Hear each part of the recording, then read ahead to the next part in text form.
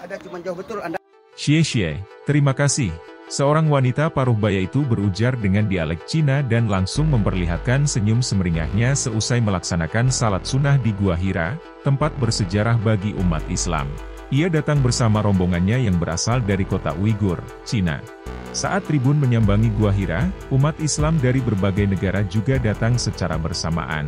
Kebetulan, saat Jabal Nur ini disambangi, Senin, 5 Juni 2023, belum banyak jamaah haji yang datang untuk melaksanakan ibadah haji.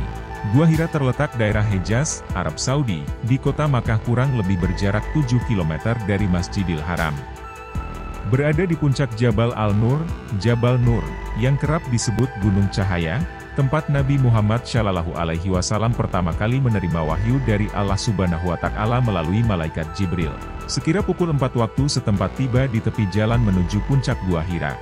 Sekira, ada 600 anak tangga untuk bisa mencapai gua dengan ketinggian 270 meter dari punggung Jabal Nur. Lelah kemudian terasa, bersamaan dengan suara azan subuh berkumandang dari arah Masjidil Haram. Terima kasih sudah nonton. Jangan lupa like, subscribe, dan share ya. Thank you.